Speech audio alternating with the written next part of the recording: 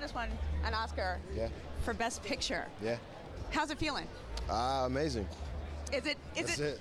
Did it sink in yet with the weirdness that happened at the end? No, No? not really. Not yet. What about for you? Um, no, not at all.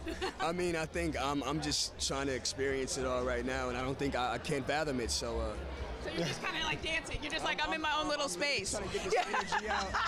Like I'm so stoked. I, so I've been crying. when they said when they said we're this is wrong, Moonlight actually won. Did you guys? What did you guys think? Uh, we thought it was. I mean, it, it seemed as if it was a joke. You know, I mean, it's Jimmy Kimmel. Right. You know, so. It, it- but I was like, that's kind of the, the most disrespectful joke you could play on somebody. But okay. Or it was like they were just like, well, Moonlight is is the real one. You know, they was Yeah, just like, we paying homage. Yeah, you know. But then it was real, and that was just the most unique moment. What did you guys think? Um, we're just amazed. I was totally excited. Um, we thought it was Wait, the totally? weirdest joke. Totally. Yeah. Wait, totally? But so, but you, you- did you think that they were joking when they said? Yeah, I thought it was the most worst joke they could have ever told in the human race. Um, but they were all like, "No, no, we're serious." and I was all like, joke they could have told the human race. Yes, yeah. And so, what did you think when they said it? What were you thinking? Like this is I, I I just accepted it until they said uh, this is a mistake. Moonlight won. Me and me and Jaden here, we literally just hopped over um, whatever we were in front of us. Uh, we stood on top of it, hopped over, and ran to the stage in disbelief. I mean, this is all surreal. Like we didn't expect any of this going into this project, you know. So Yeah. this is all. Um,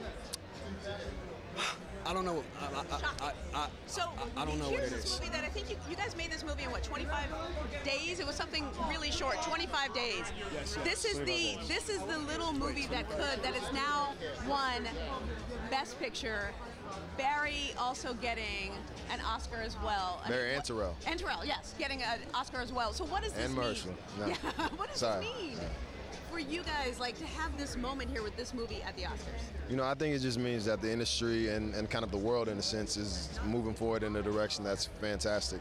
Uh, I mean, the fact that a movie made $1.5 million in 25 days with no movie stars, uh, with an all black cast, won an Academy Award for Best Picture It's groundbreaking, man.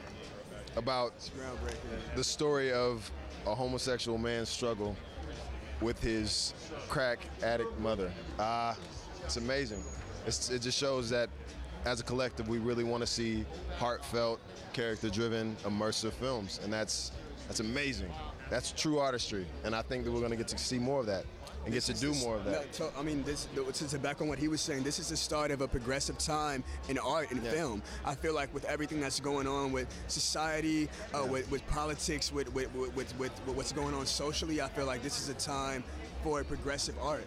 And Moonlight and all the films that were nominated tonight are are definitely like um, Not to that. yeah, not to that for sure. Definitely.